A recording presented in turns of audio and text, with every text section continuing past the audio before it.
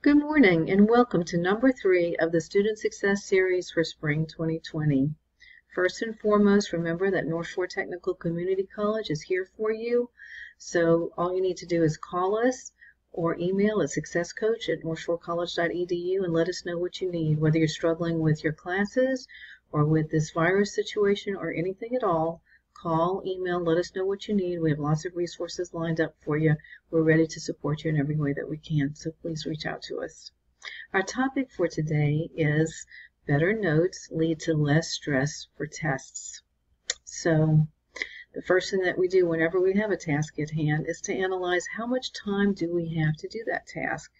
We have exactly four and a half weeks between today and the first day of exams. So think about that. Four and a half weeks okay, it's about a month. We all have a lot of work to do, all of us, a lot of work to do in that four and a half weeks. Sometimes it feels like an elephant. We have so much work to do. So here's my question for you. Can you eat a whole elephant in four and a half weeks? The answer is yes, you can. If you plan accordingly and if you bite away at that elephant every single day, you're going to be able to eat that whole elephant in four and a half weeks. What's the goal? Less stress on tests. So let me show you how you can do that. The first big bite that you're going to take out of the elephant is taking good notes. Notes help us to remember, they help us to understand the material, and they help us to connect the material to things that we already know. So when you're taking notes, you're listening to an online lecture or you're reading a chapter, you're going to write down things in key words. You're not going to try to under, write down everything that the speaker or the chapter is saying. You're going to write it down in key words, short phrases.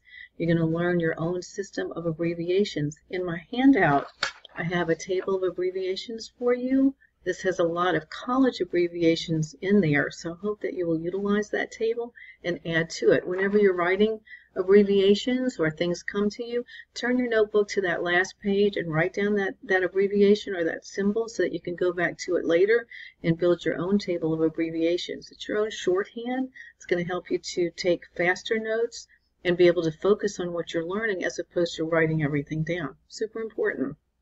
And the last important feature of taking good notes is leaving lots of space. So you want to leave space in the margins, you want to leave space in between things, and you want to leave space at the bottom of each page. We're going to get to why you need to do that a little bit later. So in my handout, I have lots of symbols, diagrams, question marks, boxes, circles, highlighters, colors, sticky notes, things that you can use to connect information together to make things stand out, important things. When you go to sit down to take that test, you're going to be able to remember that sticky note that was by it, that color that you highlighted it with. So learn to utilize these symbols in your own table of symbols. It's going to help you. It's going to help you all the time. The second big bite out of the elephant is to review. So as close to you as you can after you've listened to an online lecture or read a chapter, whatever the case might be, and you've written your notes, you want to go back and reread your notes you want to add in things that help you to understand it better, maybe do a little bit more research, maybe look up a word that you didn't understand and write down a definition. You're going to write that in that space that you've left. Remember that the more time that you spend with your notes, the more you're going to learn it. Repetition is what locks things into long-term memory. So you've listened to the online lecture, you've taken notes, and then you've reviewed your notes. That's automatically three forms of repetition right there. That's how you learn the ABCs, that's how you learned how to count, and a million other things that you've learned in your lifetime. It's repetition that locks things into long-term memories. Memory, that's three things that you've, three processes that you've already done for that material right there off the bat. So always remember to review your material. And then bite three out of the elephant is to summarize and study. So as you're reading that material again for the fourth time now, at the bottom of each page where you've left that space, you're going to summarize the material. So it's important to know that in order to summarize, you've got to think about it, you've got to analyze it, you've got to process it, and then you're going to summarize it at the bottom of the page. That's going to help you to learn it and to remember it later on to be able to recall it. The fourth bite out of, an, out of the elephant is to test yourself. Here we get to my favorite mode of study, which is flashcards. So you can write questions on one side and answers on the other, terms on one side and definitions on the other, dates on one side and, and special events on the other. Lots of different ways that you can use flashcards. You can use Quizlet.com. That's Quizlet.com. It's a super tool.